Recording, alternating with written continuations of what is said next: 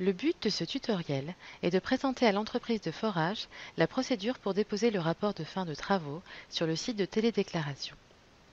Conformément à l'arrêté du 25 juin 2015, l'entreprise de forage qualifiée dispose d'un délai de deux mois maximum suivant la fin des travaux pour remettre le rapport de fin de forage à l'exploitant et le déposer sur le téléservice dédié à l'accomplissement des procédures relatives à la géothermie de minime importance, couramment appelé site de télédéclaration. Seule l'entreprise de forage mentionnée dans la déclaration est habilitée à déposer le rapport de fin de forage sur le site. Une fois connecté sur son profil, on clique sur le menu Rapport, puis sur Rapport de fin de forage. On accède ensuite au tableau de synthèse des déclarations sur lesquelles on est identifié comme entreprise de forage qualifiée intervenante. On y trouve les déclarations terminées, pour lesquelles on a déjà mis en ligne les rapports de fin de travaux de forage, et les déclarations validées, pour lesquelles les récépissés de déclaration ont été délivrés et les travaux engagés, voire réalisés. Ce sont sur ces dernières que l'on doit intervenir. Pour déposer son rapport de fin de forage, on clique sur Déposer rapport, puis sur Je sélectionne mon rapport de fin de forage. On clique ensuite sur Parcourir pour sélectionner sur son ordinateur le rapport de fin de forage que l'on souhaite déposer. Pour ce faire, on double-clique sur le fichier.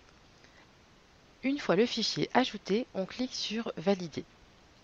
On vérifie que le document téléchargé correspond bien à la déclaration. Si ce n'est pas le cas, on a la possibilité de le supprimer en cliquant sur la croix, puis d'ajouter le bon document en cliquant à nouveau sur Je sélectionne mon rapport de fin de forage.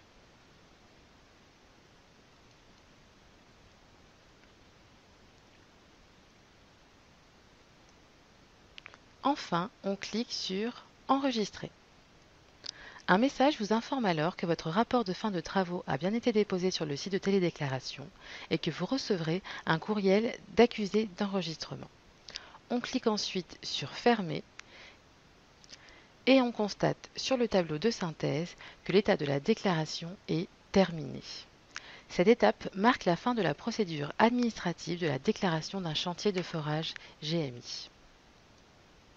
À ce stade, d'autres modifications sont possibles.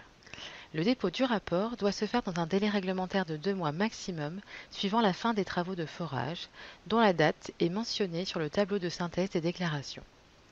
Par exemple, la date de fin de travaux mentionnée sur cette déclaration est le 31 juillet 2019. Cela signifie que le délai pour déposer le rapport de fin de forage est le 1er octobre 2019. Si la date prévisionnelle de fin de travaux doit être changée, on clique sur Modifier et on renseigne la nouvelle date de fin de travaux. Par exemple ici, le 2 août 2019. On clique sur Enregistrer et la nouvelle date apparaît bien sur la déclaration. On a alors jusqu'au 2 octobre 2019 pour déposer son rapport de fin de forage. Une autre modification est possible. Pour les déclarations terminées, on a la possibilité de remplacer le rapport initial par une nouvelle version ou d'ajouter des pièces complémentaires en cliquant sur Gérer rapport.